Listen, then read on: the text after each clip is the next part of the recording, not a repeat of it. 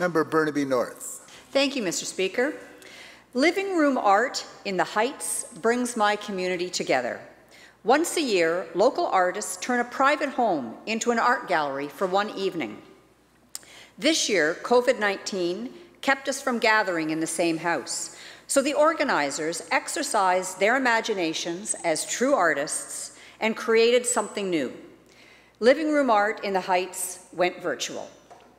It was the poet Shelley who said, poets are the unacknowledged legislators of the world. 200 years later, I would say creative artists are the unacknowledged legislators of the world.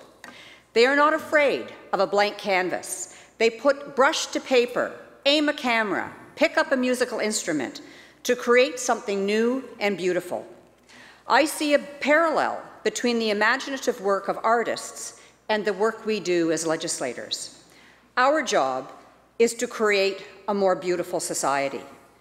But how can we if we can't imagine what a better society might look like? Imagination is a learnable skill. We wouldn't tell a two-year-old to stop trying to walk and talk because they're not very good at it, would we? Yet how many of us declare that we don't have an artistic bone in our bodies? As we slowly emerge from the pandemic and try to rebuild our economy, we need to hone our imaginations. Otherwise, we will be tempted to return to the way things used to be. But those ways did not work for everyone.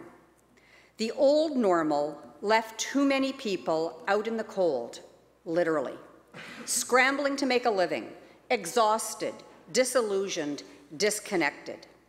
If the pandemic has taught us anything, it's taught us that we are all in this together. If the most vulnerable among us are not safe, none of us are safe. Like the organizers of Living Room Art in the Heights, let's bravely embrace our inner artists and go out and paint a new normal. Thank you.